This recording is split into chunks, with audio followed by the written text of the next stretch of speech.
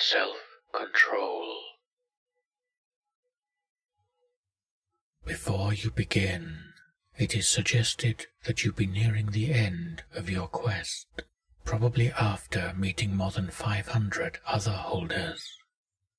If you attempt to meet the holder of self-control when your endurance and sanity had not repeatedly been pushed to their limits, you cannot possibly have strengthened your resolve enough to accomplish this feat.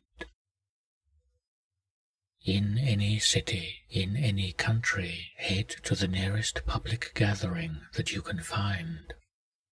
Ask around for the holder of self-control. Most of those present will not know what you are talking about.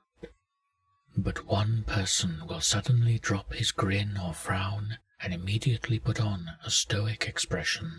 There will always be one, no matter what the occasion. Once this person is found, strip yourself completely bare and drop whatever you are holding.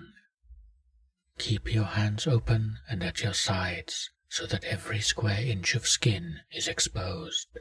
As soon as you are done, the person will lead you through the crowd. People within the crowd will inevitably stare, pass snide remarks, and chastise you, but pay them absolutely no mind. Remain completely stoic and always look straight ahead at the person leading you. By no more than an hour of walking, you'll be no longer walking through the same crowd you started in. The change will be subtle and extremely gradual, but you will eventually realize that you are being led through a crowd of demons. They will taunt you, mock you, laugh at your nudity. Some may even reach out to touch you, but pay them no mind still. As long as you keep walking, they cannot harm you. I urge to you again Remain completely stoic and always look straight ahead at the person leading you. Any embarrassment, anger, or other emotion you feel during this trip will be intensified to such a point that you are completely and permanently paralyzed by this emotion. Perhaps you will be okay if this happens while you are with the humans. At the most, you may be committed to a local mental institution. However, you do not want to be completely paralyzed around demons. Your leader will eventually reach a wall and pass through it, but you will be unable to do so. Stand perfectly still and wait patiently as the demons continue to endlessly harass you. Ignore the demons, ignore your hunger your thirst, and your tiredness. Stay completely still for days, and a doorway will dissolve into the wall in front of you. Step through the threshold into the room, and the wall will close behind you.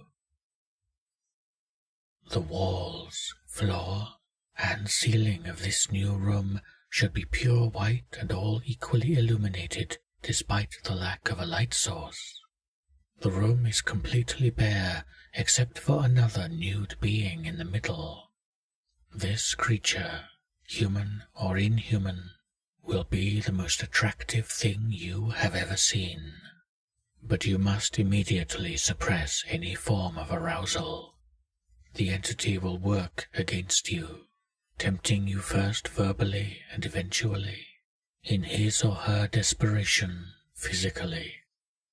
Do not fall to temptation. Do not even begin to consider his or her offers, and even if physically stimulated, do not climax. If you should fail, you will be lost in an eternal state of bliss, forever ignorant of everything else. If you succeed, however, the tempter or temptress will smile, nod, and tell you that you have passed. In a blink, you will find yourself clothed in a suit or dress made of material finer than you can imagine. You will no longer be weary or hungry. though you have neither eaten nor slept for days. Now and only now may you relax and give in to your emotion. A doorway will form in the wall behind you. Thank and bow to the holder, your tempter or temptress, and walk out the door. It is not known whether or not a sign of gratitude is necessary, but after all that, it would be quite a shame to fail for lack of manners. You will find yourself at the gathering where you had started, and the crowd that once taunted you will roar with applause, even though they do not know why they are clapping. Your new garments are Object 536 of 538.